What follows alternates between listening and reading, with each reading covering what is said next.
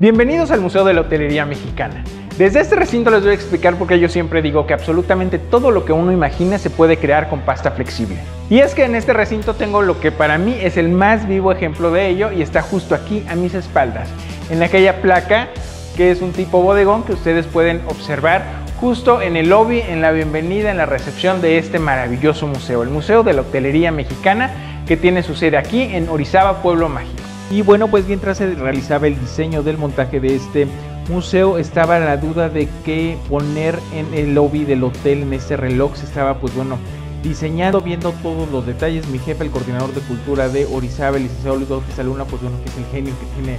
siempre las mejores ideas. Eh, de repente se le ocurrió acompañar a este reloj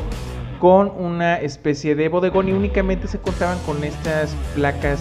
de madera y para no mandar a labrar pues el bodegón, me puse con las manos a la pasta a realizar pues bueno las piezas tratando de imitar obviamente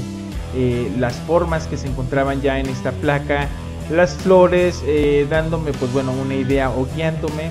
de la imagen que ya teníamos para empezar a sacar este bodegón que fue modelado completamente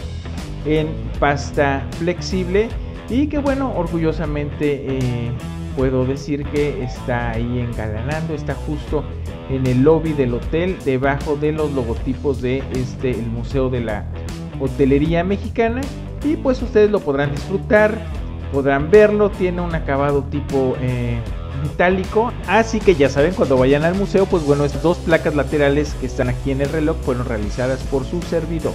Espero que les haya gustado mucho este video, tanto como me encantó a mí trabajar precisamente para este lugar, para este recinto, para este Museo de la Hotelería Mexicana. Te invito a ver los demás videos, contenidos que tengo aquí en mi canal, de cómo realicé, pues bueno, estas muñecas que ya saben que se exhiben aquí en el museo, de mis dibujos y pues bueno, hay un montón de opciones más en mi canal. Muchísimas gracias por haberme acompañado hasta este segundo del video y no olvides suscribirte a mi canal, activar la campanita para recibir todas las notificaciones y nos estamos viendo en un siguiente video aquí en mi canal de Elliot Hill. Muchísimas gracias, bye bye.